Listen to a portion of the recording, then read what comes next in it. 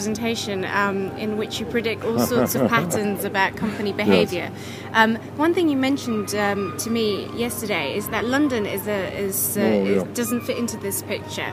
Uh, just tell us a little bit more about how yes. London doesn't fit. Yes, in. well, it's um, it's a little bit controversial, but um, uh, it turns out if you look at the UK urban system.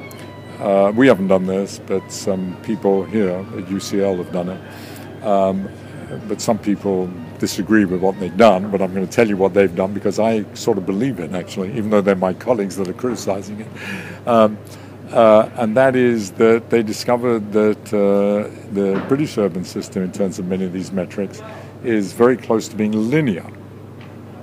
And um, uh, and, and, that's terrible because it says that there's no point in having an urban system because I mean, you know, I mean, the whole point of getting bigger was that you got more per capita. So England is not benefiting from that. It's not benefiting from this, you know, more per capita, this increasing returns to scale, at all. So um, that's weird, and we were, at least I was, very surprised by it. Um, but then I asked them to do the following. I said, look that's for, you know, I forget how many cities were in this, a couple of hundred. I said, why don't you take that um, population of cities and just keep decreasing? You know, you have 200, then you're at the top 150, then the top 100, the top 50, the top 40, 30, 20 and how see how that scaling changes. And it, as you come down, mm-hmm. Um, it hovers around one, uh-huh. as it should. And then as it starts to get where London completely starts to dominate, it gets super linear.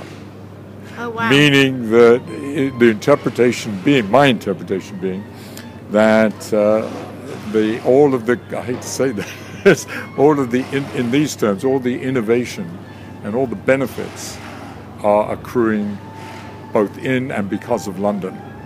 So London kind of sucks. London everything. sucks everything, which is you know an image that people have uh, in, in, the United Kingdom. Do you think this does. might kind of fit into the Brexit situation? well, I think it does. Oh yeah, I was thinking, listening to all these talks today, I was thinking that you know one interpretation of the Brexit um, vote is. Um, that uh, there was kind of a transference, if you like, that somehow um, London became symbolic of, or, or rather, they, they, they, I said the wrong way around, that um, the European Union came symbolic of the dominance of London mm-hmm. because London, you know, has this huge economic, cultural um, kind of presence that, that uh, completely overwhelms the rest of the country, and um, uh, that, uh, and furthermore, it has all of the things that we see in our work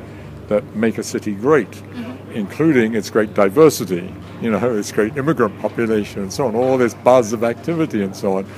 And, uh, you know, that was obviously um, very threatening to a lot of people. And so um, I think that's, so I think the Euro, so I interpret it, this is total speculation, but my interpretation is the European vote, the Brexit vote, was actually a vote against London.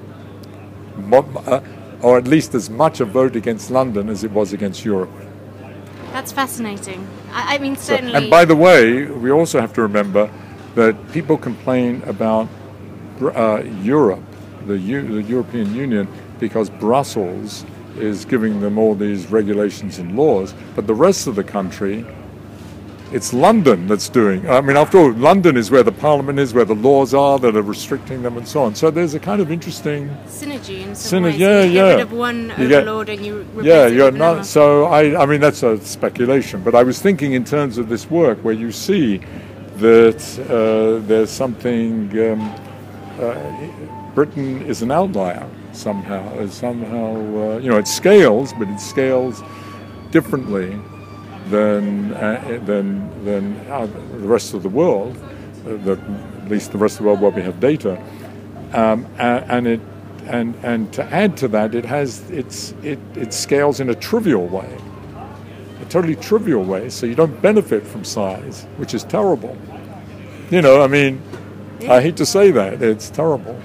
Uh, that's fascinating. Thank Yeah. you so much, Sure, Geoffrey. It's been a wonderful um, yeah, thank you. Thanks. I really Let's go and get a drink. Yeah, yeah. Thank you.